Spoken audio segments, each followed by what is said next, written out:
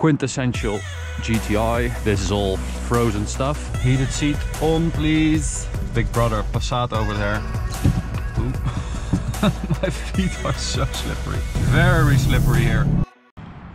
What's up ladies and gentlemen and welcome to this POV review by Autotop NL. My name is Max and today we've got the Volkswagen Golf GTI, the Mark 7.5 and we've got the performance package. That is why we are driving it today.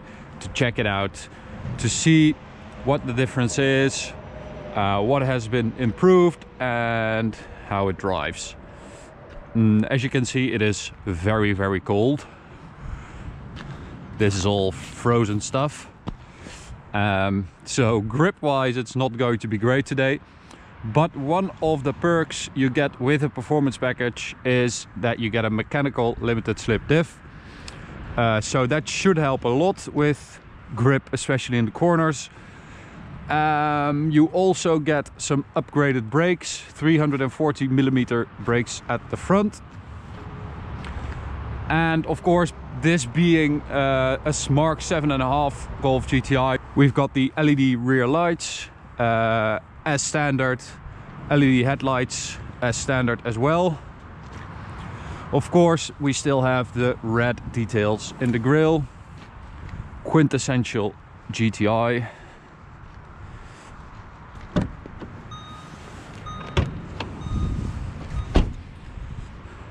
And up here, we've got the 2 liter TSI with 245 horsepower so that is 15 horsepower extra compared to the regular one and it has 370 newton meters. So that means 0 to 100 in 6.2 seconds. Top speed 250 kilometers an hour. I'll just get rid of my jacket. Oh man it's cold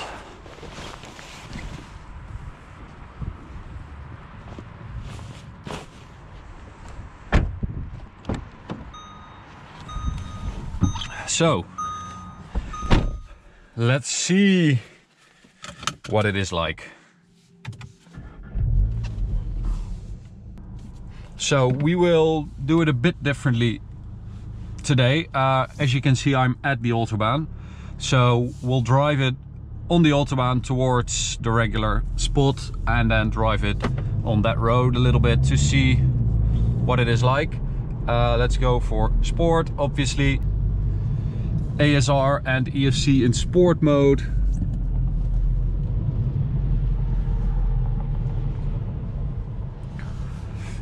Heated seat on please. Should be fine for launch control. Ooh. My feet are so slippery. Launch control. Oh, wheel spin, wheel spin, wheel spin. And grip.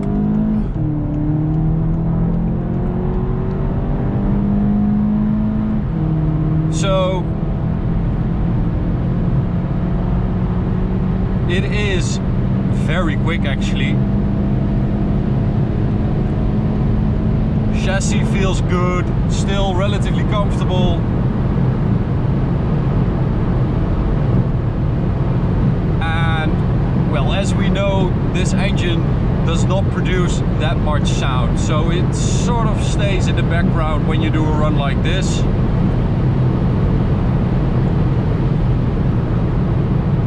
But it is very quick. Uh, top speed, as I said, 250 kilometers an hour. It will do that and it will do that quite easily actually. Of course, 0 to 100 is not really relevant with these conditions virtually impossible to get anywhere near that 6.2 I think but what does strike me every time I drive this car is how capable it is on well almost every aspect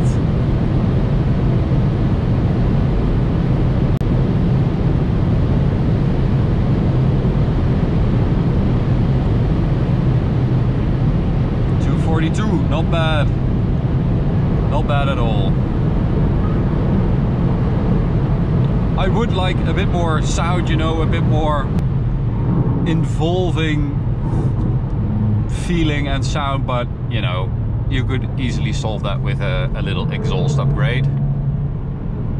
Okay, let's go for manual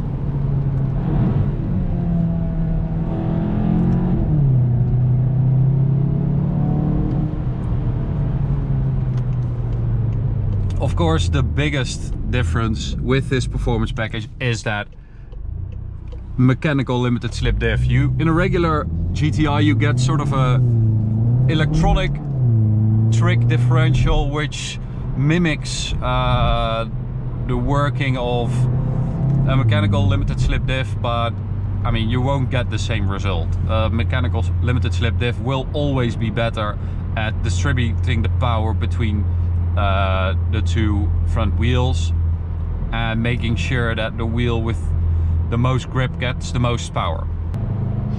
So while we're stuck behind these cars, on the interior, as you know, big change as well with the active info display, uh, which is sort of the virtual cockpit. We've got this new screen, which is touch and uh, with those buttons on the left and right side. This all looks a lot better than the Mark 1, sort of Mark 1 Golf 7. Okay. Let's go. Have to be a little bit careful, of course, because it is super slippery. But the benefit of this limited slip diff is that you can get on the power much, much earlier. And it will sort of solve the grip issues for you, or at least most of it. Of course, it's not going to handle or act like a Golf R grip-wise, but I actually think that this is better than a Golf R handling-wise because it is about 100 kilos lighter than a Golf R and you really feel that. There's just... Um, this just feels a little bit more nimble, uh, more agile and I think that's one of the most important aspects of a hot hatch that you sort of feel like you can throw it around and it likes to be thrown around. So I'll get a bit of distance to the big brother Passat over there. Uh, we've got some new seat design as well with this uh, pattern which I think you also get in the grill at the front uh, but no longer do we have the classic GTI cloth sort of uh, seats I don't know if this is an option and, and the other one, the tartan, is, is uh, standard.